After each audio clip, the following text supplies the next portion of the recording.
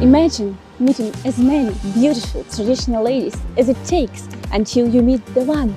That's exactly what you can win right now. Just comment, subscribe and share.